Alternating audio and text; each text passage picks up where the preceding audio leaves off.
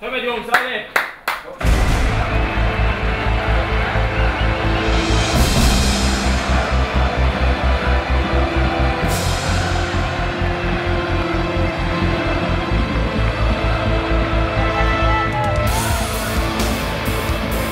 Wir haben bezüglich Stadion haben wir immer ein bisschen, fast ein bisschen komplex gehabt. Das Gebäude wird sicher Luzern und den Sport prägen, das ist glaube ich.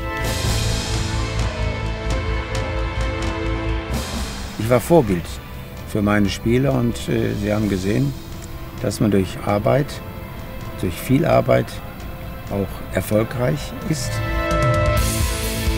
Luzern bedeutet mir eigentlich alles, weil sie mir den Weg entgegnet, damit ich später auch Berufsfußballer werden Wir werden aus den Besten eigentlich die aller, allerbesten rausnehmen und denen die Möglichkeit geben, in der ersten Mannschaft sich durchzusetzen. Sehr fordernd, fordernd, dass sie auch Präzision und Qualität verlangen. Das Ziel muss sein, dass wir regelmäßig europäisch spielen können.